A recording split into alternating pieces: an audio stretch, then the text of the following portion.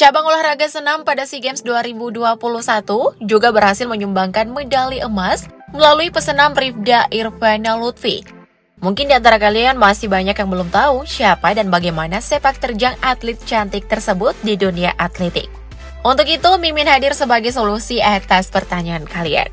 So, tanpa basa-basi lagi, berikut ini adalah fakta sosok Rifda Irvana Lutfi, atlet senam Indonesia.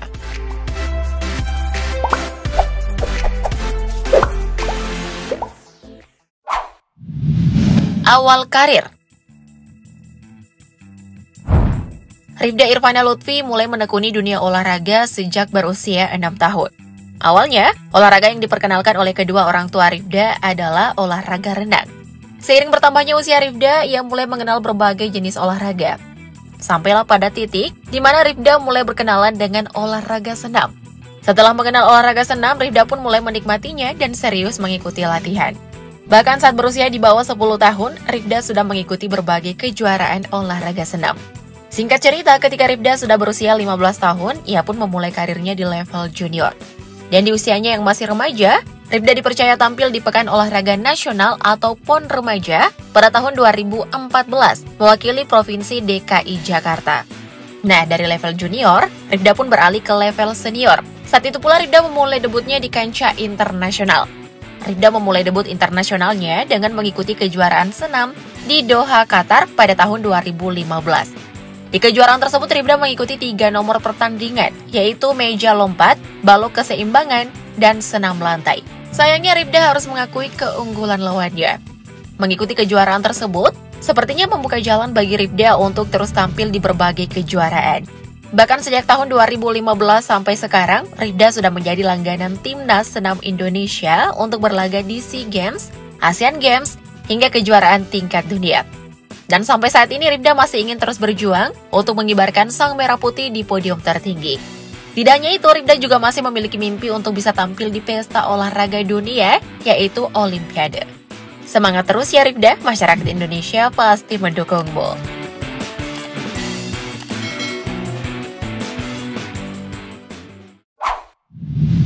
Pendidikan Berkecimpung di dunia olahraga sejak usia dini dan akhirnya menjadi atlet profesional. Kedua orang tua Rifda Irvana Lutfi memilih untuk menyekolahkan Rifda di Sekolah Khusus Olahraga atau SKO Ragunan. Setelah menyelesaikan pendidikannya di SKO Ragunan, Rifda memutuskan untuk melanjutkan pendidikannya di Universitas Negeri Jakarta atau UNJ. Rifda pun tercatat sebagai mahasiswa di Fakultas Ilmu Olahraga angkatan 2017. Sebagai mahasiswa UNJ yang kerap mengharumkan nama bangsa di kancah internasional, membuat Rifda selalu kebanjiran pujian dari pihak kampus.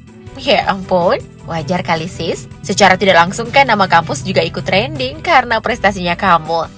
Atas rentetan prestasi yang pernah diraihnya, Rifda Irvana Lutfi pernah dinobatkan oleh Kementerian Pendidikan dan Kebudayaan atau Kemendikbud sebagai peraih mahasiswa inspiratif 2019.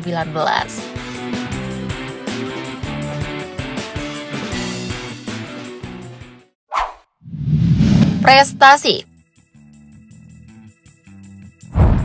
Rifda Irvana Lutfi telah aktif menjadi seorang atlet senam sejak usia remaja. Ia berhasil memenangkan dua medali emas di PON Remaja pada tahun 2014, mewakili Provinsi DKI Jakarta. Kemudian di tahun 2015, Rifda mulai mengikuti kompetisi di level senior untuk skala nasional hingga internasional. Untuk skala nasional, Rifda berhasil meraih beberapa medali, antara lain PON 19 2016 dengan capaian 2 medali emas dan 1 medali perak, dan PON 20 2021 dengan capaian 4 medali emas. Sedangkan untuk level internasional, Rifda juga memiliki sederet prestasi yang tak kalah membanggakannya. Adapun prestasi Rifda yang juga sukses mengharumkan nama bangsa Indonesia yaitu SEA Games 2015 dengan raihan satu medali perak, Islamic Solidarity Games 2017 dengan raihan satu medali perak dan satu medali perunggu.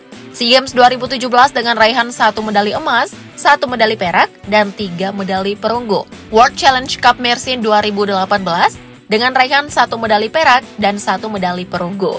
Asian Games 2018 dengan raihan satu medali perak. SEA Games 2019 dengan raihan satu medali emas dan tiga medali perak.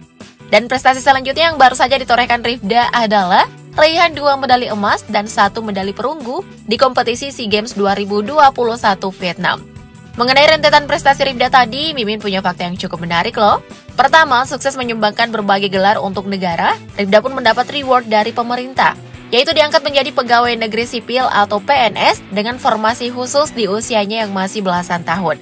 Dan saat ini Ribda bersatu sebagai PNS di lingkungan Kementerian Pemuda dan Olahraga. Hmm, gimana? Keren kan?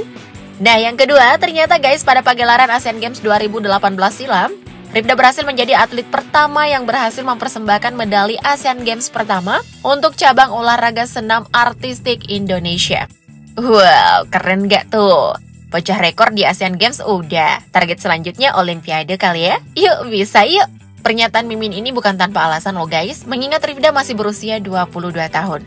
Artinya, karir Rifda Irvana Lutfi masih panjang dan masih punya banyak kesempatan untuk memboyong medali di ajang-ajang lainnya. So, buat Rifda, semangat terus ya. Masyarakat Indonesia selalu mendukungmu. Ditunggu prestasi selanjutnya.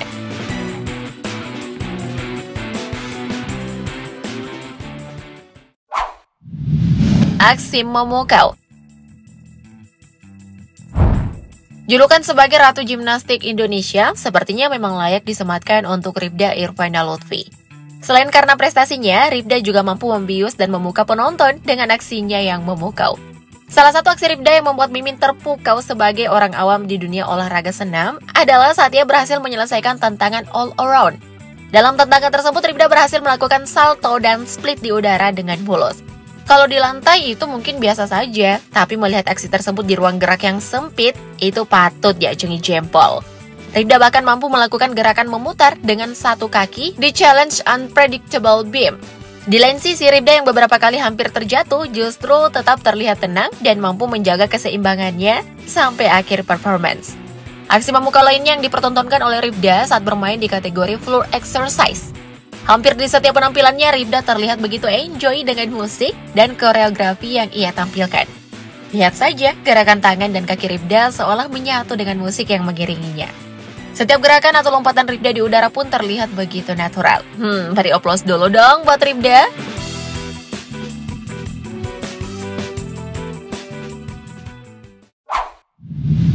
Keluarga Lahir pada tanggal 16 Oktober 1999, Ribda Irfana Lutfi merupakan putri dari pasangan suami istri Ayah Utu Solihin dan Ibu Yulis Andriana. Sang ibu diketahui berprofesi sebagai guru di SMP Negeri 41 Jakarta. Meskipun mempunyai kewajiban sebagai seorang guru, Ibu Yulis selalu menyempatkan waktunya untuk mendukung putrinya. Tak jarang, baik ibu dan ayah Rifda selalu memberikan dukungan kepada Rifda dengan cara hadir langsung di venue pertandingan. Bahkan sang ibu juga kerap membagikan momen bangga saat Rifda berhasil meraih medali dalam setiap kejuaraan. Buat Rifda dan keluarga, bahagia dan kompak selalu ya. Semoga informasi ini bermanfaat dan bisa menginspirasi kalian. Thank you, update lovers!